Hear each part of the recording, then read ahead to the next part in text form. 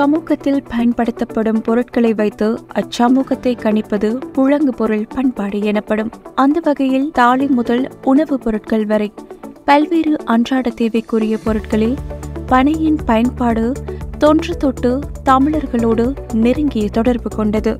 கிராமத்து மக்களின் வாழ்வியலோடு இணைந்த பனைமரம் சார்ந்த பனை வளங்களை கொண்டு மக்களுக்கு தேவையான பொரு உற்பத்தி பொருட்களையும் அதே போன்று அன்றாட வாழ்க்கையில் பயன்படுத்தக்கூடிய எங்களுடைய இயற்கை சார்ந்த விஷயங்களை சந்தைப்படுத்தும் விதமாக அயம் கலையகத்தை நாங்கள் உருவாக்கியிருக்கிறோம்.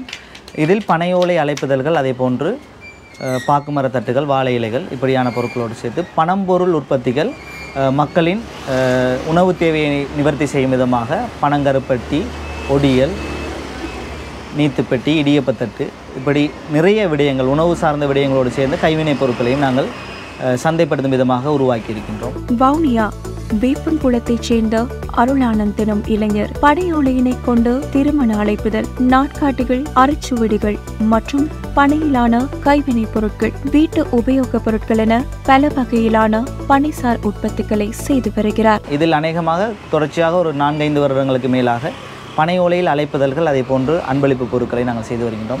இதோடு பனை ஓலையில் அரிச்சுவடி சார்ந்த விஷயங்களும் நாங்கள் முன்னெடுத்து வருகின்றோம். அதே மாதிரி விசிட்டிங் கார்டு அடையாள அட்டைகள் இப்படியான விதங்களையும் பனை ஓலையில் நாங்கள் செய்து கொண்டிருக்கிறோம். அதே போன்று நிறைய இடங்களிலிருந்து இந்த பொருட்களை உற்பத்தி செய்பவர்கள் பயனடைகிறார்கள். பனை மரமும் ஒரு பயன்மிக்க ஒரு மரம். அதே போன்று பனை மரத்தில் செய்யப்படுகின்ற உற்பத்திகளை நிறைய பேர் பயனடையும் கூடும் விதமாக இதை உருவாக்கி இருக்கின்றோம்.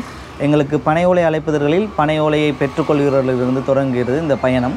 அவர்களுக்கு சந்தைப்படுத்தும் விதமாக ஒவ்வொருவரும் இதில் எங்களுக்கு பொருட்களை வழங்கும் விதமாக மூலப்பொருட்களை வழங்கும் விதமாக நாங்கள் இதை உருவாக்கினோம். ஒருவர் பனை ஓலையில் ஒரு அழைப்புதலை உருவாக்கினால் அதை ஒரு தனிநபர் மட்டும் வருமானம் பெற்றுக்கொள்ளும் விதமாக இது இல்லாமல் ஒரு எட்டுக்கு மேற்பட்ட நபர்கள் பனை ஓலையை வெட்டி தருபவர்கள் அதே போன்று பனை ஓலையை திரையச்சி செய்பவர்கள் பனை மரம் மேறி ஓலைகளை தருபவர்கள் என்று இந்த பணத்தை வந்து நிறைய பேர் பயன்படும் விதமாக இந்த பணப்பரிமாற்றம் இடம்பெற்று கொண்டிருக்கிறது இந்த பனை ஓலை அழைப்புதல்கள் மூலமாக. பனைக்கென்று எந்த ஒரு ஆராய்ச்சி நிலையங்களோ ஊக்குவிப்புகளோ இல்லாத நிலையில் கிராமப்புற பொருளாதாரத்தினை மேம்படுத்த பனை மரங்களை மீட்டெடுக்க வேண்டிய அவசியம் உணர்ந்த அருள். கடந்த வருடம் நண்பர்களுடன் இணைந்து ஓர் அமைப்பாக சுமார் ஒரு லட்சம் பனை மரங்களின் நடுகையில் பங்களிப்பு செய்தார். தொடக்கத்தில் ஒரு ஐநூறு பனை விதைப்பு அதே மாதிரி ஆயிரம் அது பத்தாயிரமாக மாறி பிற ஒரு லட்சம் பனை விதைப்புகள் வந்திருந்தது. அதோடு சேர்த்து நொங்கு திருவிழாவையும் நாங்கள் முன்னெடுத்து வருகிறோம்.